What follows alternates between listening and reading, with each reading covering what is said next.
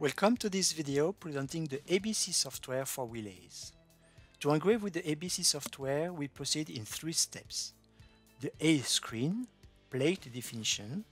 You define the size of the plate or the object or the engraving and its position over the engraving area of the machine. The B screen, the composition itself. You create the elements to engrave. The C screen, engraving settings, you define the engraving parameters for the machine. By the way, the ABC software is dongle protected. You need a dongle to be able to send the job to the machine. Let's start now with the A screen. On the left of the screen, you have a command toolbar with the functions new, open, save a job, here the undo, redo, and the zoom. You have different composition tools that we will see later, and here a parameter window. Inside the parameter window, you can define the language of the software, the language of the keyboard, the unit, if you install the software on a PC or on a tablet, and here you can add a new machine inside the software.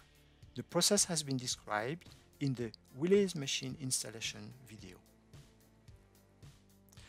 On the top of the software, you have a contextual toolbar. It adjusts itself to what you want to do. Plate size. Here you can enter the size of the plate. For example, here you decide if the ABC software manages the z-axis or not. Either it engraves your job at the place where is the machine, or you can enter the height of your part the machine will automatically move the engraving surface at the focal distance. Plate orientation. By clicking on this little triangle or by pressing 3 seconds on tablet mode, you can define the orientation of the plate on the engraving area of the machine.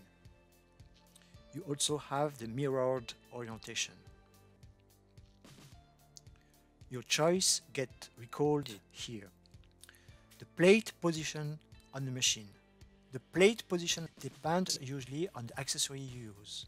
Either a table, then you place the top left corner of your plate at the top left corner of your table, or a vise, then you place the center of your plate at the center of your vise. You can adjust the position either manually, like this, or by using the positioning function.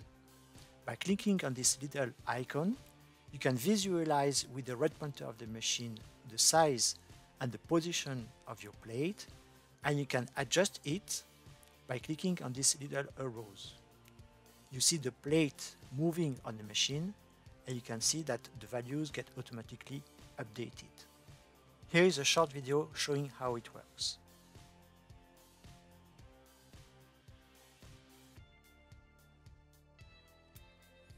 If you have a cylindrical object, here is a window where you can enter additional informations.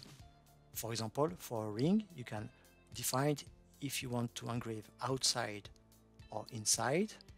You can enter either the perimeter or the diameter. Let's enter the diameter. Here you enter the width of the ring. Here you define either the index mode or the combined mode. With the index mode, the rotary device will turn between each letter. With the combined mode, the rotary device will turn continually. It will give you the viability to engrave a logo all around the part. You can turn on the red pointer on the machine to perform a manual focalization. Let's validate the window the value get updated automatically. You can visualize the ring. You can adjust the diameter. For the rest of the presentation, let's continue with the flat engraving. Let me select flat engraving. When we enter into the B screen, we are by default in text mode. This is the reason why the contextual toolbar is proposing you different text tools. The first one is the automatic or manual text mode.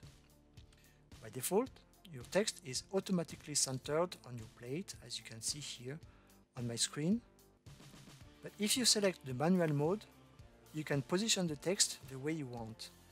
For that, three different tools are at your disposal. The first one, the distance from the left, enter 55, which is the center of my plate, the distance from the top, and the length of the baseline. You can also adjust the size of the font, entered 6 millimeters. The justification tools. The justification tools are positioning the based line compared to the origin of the line. Centered, left aligned or right aligned. Different modes are available. Italic, underlined, or exponent. Let's write now a text.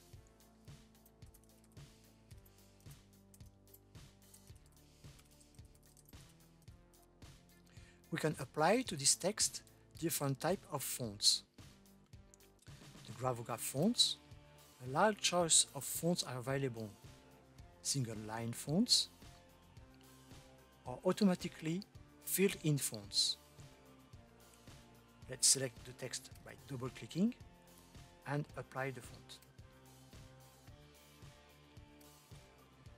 The usual TrueType fonts. Let's select the text and apply this font for example. In this field, you have a reminder of the last font used or the current selected font. By clicking here, you can visualize all the different characters available in this font. Let's now add a logo. We create a line. By clicking on this icon, we get access to a large choice of logos. Let me select this one.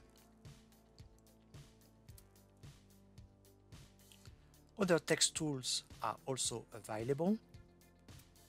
Text on angle, text on arc, vertical text. Now that the text is created, we can add different geometrical shapes, rectangle, circle, line, rounded rectangle. Let me select the rectangle.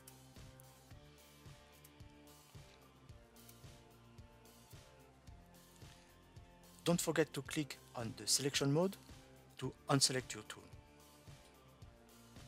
Now, in the contextual toolbar, you can define precisely the size and the position of your selected element. Let me select the rectangle and enter the values manually.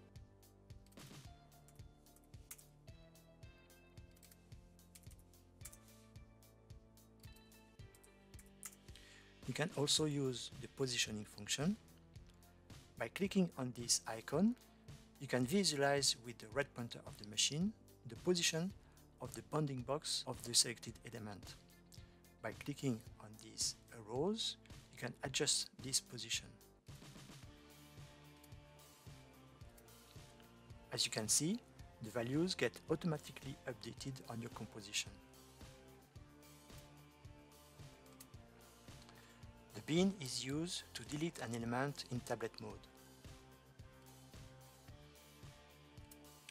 Now that the composition is finished, we can apply the different engraving tools to the elements. We have five different engraving tools. The vectorial filling with contour, the plotting, the cutting, the raster, which is a back and forth filling, and the raster with thickness. You can enter the thickness here. By default, this is the plotting tool that is selected. Let's apply now the tools. Let's keep the plotting tool for the Gravograph pre-filled font. Let's use the vectorial filling for the TrueType fonts, the raster for the logo, and the cutting tool to cut the plate.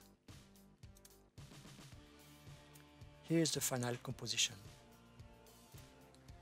Now we can apply the engraving parameters corresponding to our machine on the engraving tools. We enter these values by using presets. We have presets proposed by Gravotech. Personal presets that we created and the values saved inside the job. We can also enter the values manually.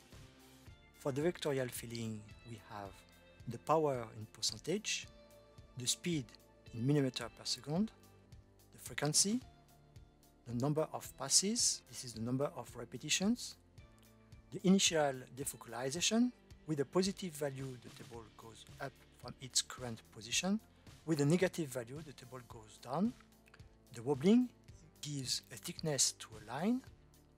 The density, this is the number of lines per millimeter. Number of angles per pass, 1, 2 or 3. We repeat the toolpath with different angles at 0 degree, 0 and 90 degrees, 0, 45 and 90 degrees. The cleaning toolpath, this is the final toolpath to clean up the result. As we use the plotting toolpath with a Gravograph font, we want to give a thickness to the line. The wobbling turns a straight line into loops. Let's give a diameter, 0.5 is okay, and a distance between two loops. When we use the cutting toolpath with metal, we want to concentrate the energy. This is the reason why we will also use the wobbling.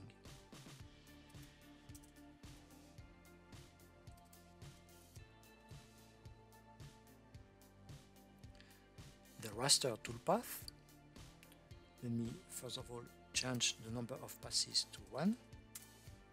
You need to enter a value for the DPI, dot per inch. The higher is the value, the higher is number of impact on the material. Here are all our parameters. If you want to temporarily deactivate one toolpath, just click on the icon.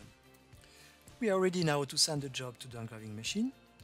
Before that, we have the choice to do a simulation on the machine by clicking on this eye icon.